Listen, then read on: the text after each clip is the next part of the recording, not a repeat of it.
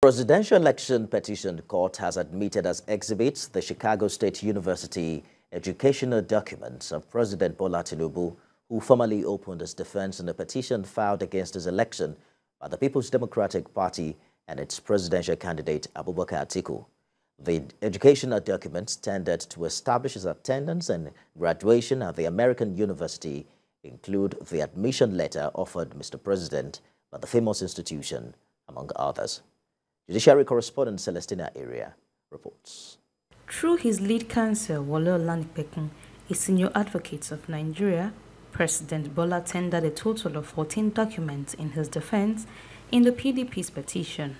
Among the documents tendered are certified true copies of U.S. visa documents, which indicated that he visited the United States of America several times unhindered between 2011 and 2021 the president who tendered the document to refute allegations of involvement in crime contained in the petition against him also made available to the court all documents by the Nigerian Immigration Service which cleared him for the U.S. trips.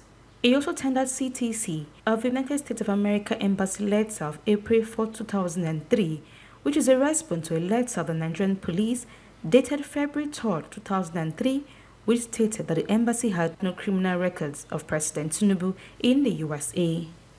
The documents were admitted in spite of rigorous objections against their respective admissibility by the PDP and the former vice president.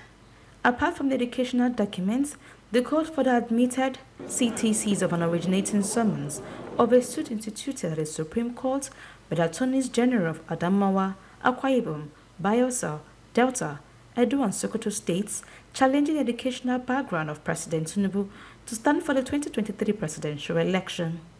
CTCs of newspaper publications on several suits filed against President Tinubu by several groups were also tendered.